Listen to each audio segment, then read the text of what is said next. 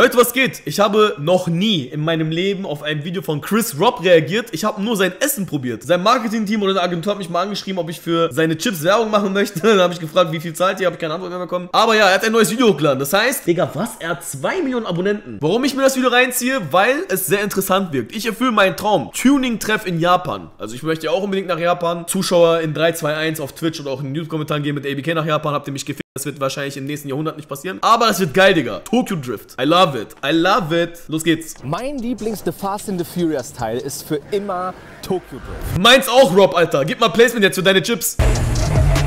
Und wir befinden uns gerade Ich habe heute sogar noch eine Story gepostet. Lauso einfach.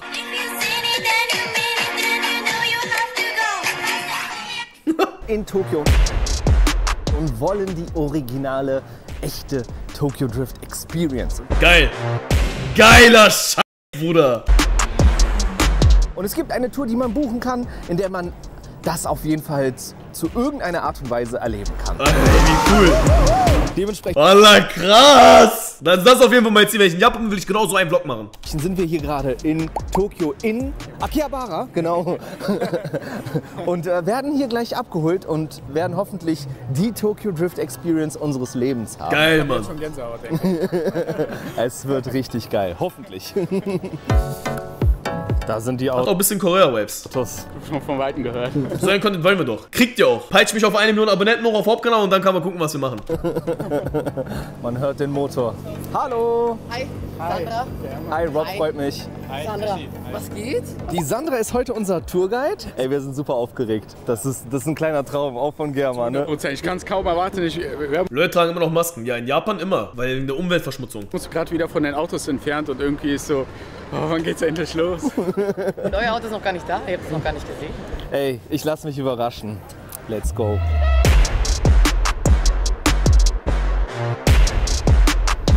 Eieieiei. Das gehört zu meinen Traumautos. Ein Nissan Skyline. Heftig. Krass.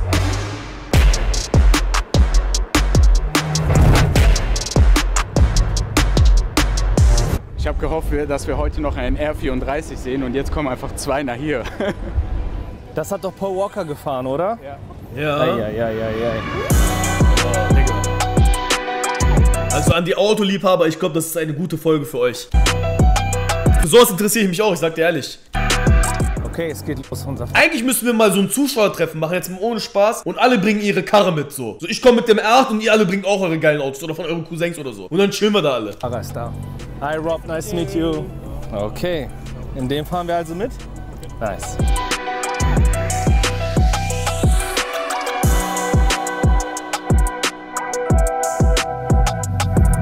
Ah, und guck mal, hier sind die Lenkrad rechts.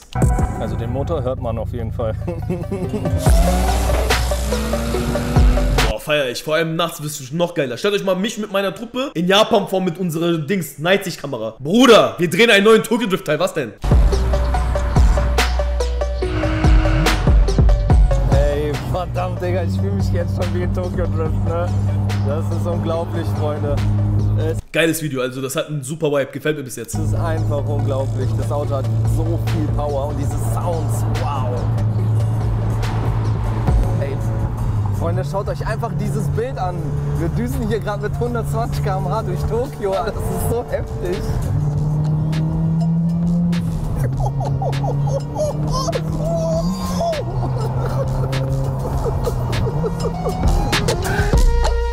Es muss nachts sein, ja, es kommt wahrscheinlich noch.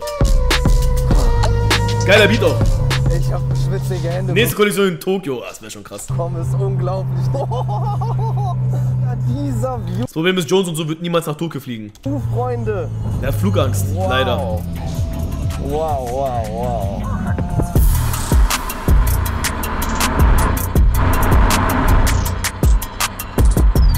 Die tunen ja auch alle ihre Autos da selber und so, ne? wir sind da. Voll geil, Alter. Schön in einem Parkhaus. Geil, geil. War Tut mir leid, vielleicht schneide ich das im Nachhinein raus. geil, oder? Ey, das hat so Bock gemacht, wirklich. Wenn wir uns gesammelt haben, fahren wir halt alle wirklich als Team rüber. Okay. Und das ist halt das Coole. Da, das macht dann richtig Spaß. Guck mal, voll viele Deutsche einfach. Junge, ich will Japaner sehen. Okay, ich kann es kaum erwarten. Es war unglaublich, dieses Auto hat so viel Power, wow. Hier treffen wir uns jetzt quasi alle Und hier soll noch ein Shop sein. Ja, schauen wir uns einfach die ganzen Autos an. Und nachher geht es noch zu einem Tuning-Treffen.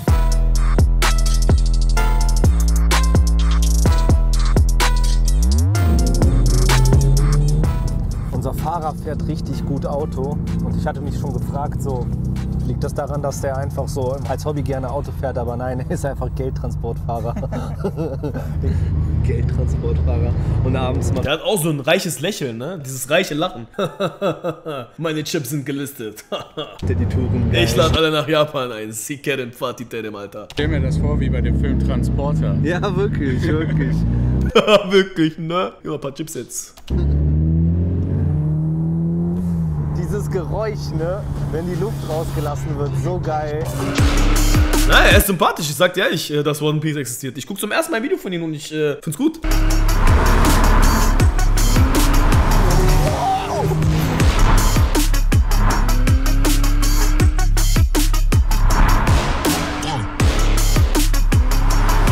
Hatte schon erwähnt, dass er ein Chip-Sponsoring will. Ich will kein Chip-Sponsoring, ich will Geld dafür, dass ich für die Chips werbe. Einfach verrückt. Einfach verrückt. Wir sind da. Alle Leute filmen schon. Geil! Boah, das ist, das ist geil, Bruder. Geil. Ich freue mich. Wir sind da, Daikoku Parking Area. Hier ist jetzt quasi das Tuning-Treffen. Alle Leute aus Tokio treffen sich hier und man kommt hierhin auch nur mit dem Auto.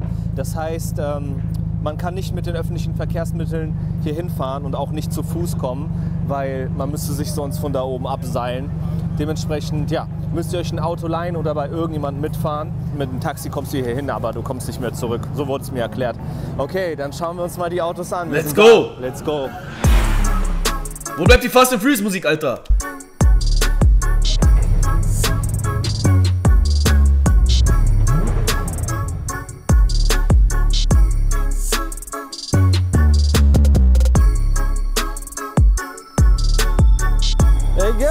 Einfach Audi. Alter, kauf doch meinen A5, Bruder.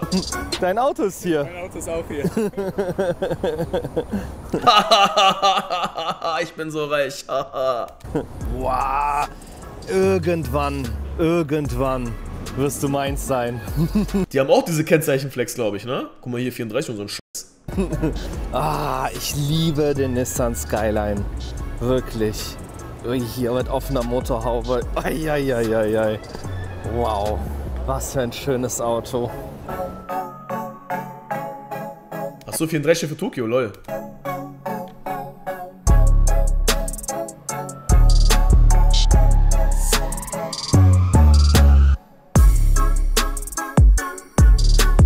Dann hast du vor, ein Auto zu tun? Nö. Ich guck mir sowas gerne an, ich selber würde es nicht machen.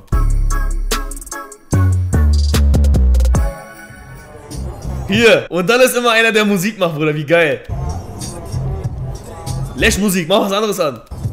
Es ist so verdammt cool hier. So ein cooler Vibe. Achso, ist die Version des Nissans, okay. Leute tauschen sich aus, quatschen über Autos. Ach, es ist wirklich schön, diese Leidenschaft dieser Menschen zu sehen. Macht mich richtig glücklich, andere Leute glücklich zu sehen. Mega. Ja, dann mach mich auch glücklich. Hau mal ein paar Chips rüber. Ja, schön. Und wir haben gleich noch eine kleine Tour mit Sabrinas Auto. Bin ich auch gespannt. Sie hat einen GTR 35 Nissan. Heute lerne ich Digga, die leben dort einfach, so ein paar Deutsche. Krass, ne? richtig viel dazu. Super geiles Auto. Also das ist sogar Die leben den Shit. Guck mal hier, die lebt einfach, sie hat ein dickes Auto, rote Haare, sie will so in Tokio die bekannteste sein, mäßig, mäßig. das allererste Liberty Walk Auto, was die je gemacht haben. Ganz genau. Damit hat Oh ja, die ist aus Deutschland, ne? eine absolute Die Ära. Japaner fahren bestimmt voll auf die ab. Die haben sich Gedanken gemacht, wie können sie irgendwie was auf den Markt bringen, was die Leute begeistert.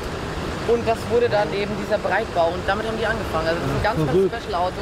Äh, da haben die sich auch auf jeden Fall richtig Mühe gegeben. Die haben hier gelb, gelb foliert, hier vorne ist so blau gespiegelt Okay, gut. foliert. Auch dieses Brei das ist ja das Besondere an Liberty Walk, diese Breite. Das sieht halt so mächtig aus. Wow. Ist das bei Liberty Walk, dass sie schneiden? Ja, Okay. die schneiden Das die heißt- Hauptkarosse auf. Ja, du kaufst dir ein Auto und da kommt jemand mit einer Fräse und fängt an, das Auto zu schneiden. Ja. Wie, wie, wie kommt man an so ein Auto? Man fragt direkt bei Liberty Walk an. Okay. Ja. Du kannst da anfragen, die machen ja nicht nur GTRs, du kannst auch alles, die haben zurzeit einen RS7 Okay. zum Verkaufen, auch als Liberty Walk Kit und dann ist der halt super breit. Du Krass. fragst da einfach Die fahren also auf breite Autos ab. Die sind in Deutschland illegal. Ja, ja, ja, war klar. Ich, ey, das war alles Ja, wollte gerade auch sagen, TÜV ist da nicht so streng anscheinend. gerade ein Film. Wirklich. Das war Tokyo Drift in Real Life. Authentischer kann keine Nein, die Partys fehlen. Wo sind die tanzenden Frauen? Wo sind die Wettrennen? Experience sein. Ich bin so ein Typ, ich fahre nicht schneller als 120 auf der Autobahn. Aber ich habe ich hab trotzdem ultra Spaß dran. Ayoa! Es geht los.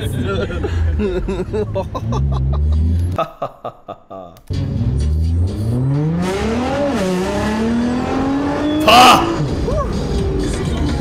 Ich glaube, das war ein schnellerer Start als auf jeder Achterbahn, auf der ich hier war. Oh, geil, Alter! Was macht diese Frau?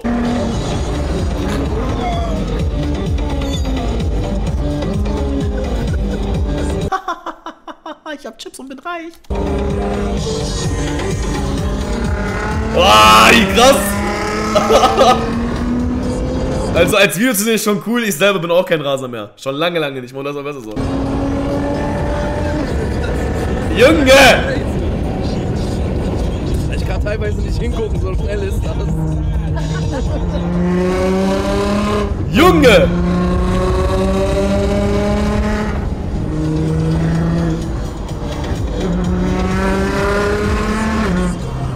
Ist einfach unglaublich, wirklich, Freunde. Danke für diese authentische Erfahrung. Krass.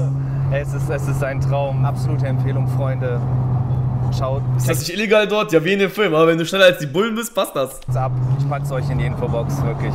Mein Herz am Rasen, aber ich bin so glücklich, voller Adrenalin. Was will man mehr in einer wunderschönen Tokio-Nacht? Oh ja. Ja! Der muss auch sein. Der muss sein.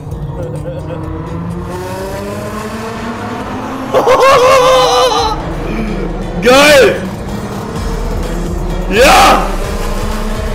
Junge! Wallah krass, ich schwör, ich hab Gänsehaut bekommen! Wallah krass!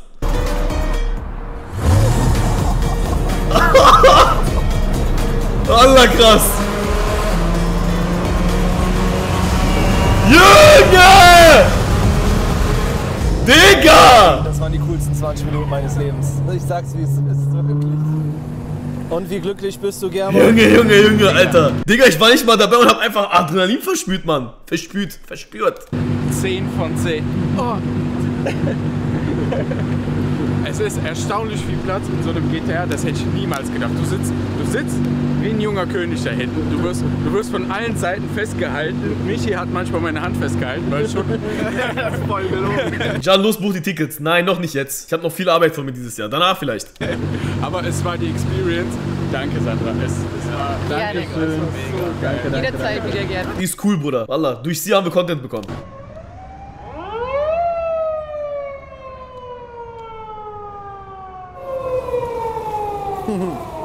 Schade, das hätte von mir aus noch so 10 Minuten weitergehen können, ne? Okay, die Sirene bedeutet, dass es vorbei ist. Das Tuning-Treffen wird quasi beendet. Und jetzt fahren alle weg. Ey, es war unglaublich. Boah!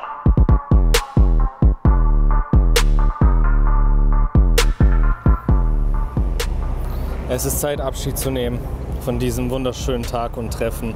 Das war meine Tokyo Drift-Erfahrung. Das war wirklich cool. Also Chris Robbie Robson. Starkes Video, Digga. Dankeschön für den Upload. Wenn ihr wollt, dass du auf weitere, ich weiß nicht, wie man das nennen kann, aber was auch immer, lasst mich wissen, lasst einen Daumen hoch da. Aber bitte kann mich sehr, sehr freuen. Aber wir sehen uns morgen um 21 Uhr wieder. Passt auf euch auf.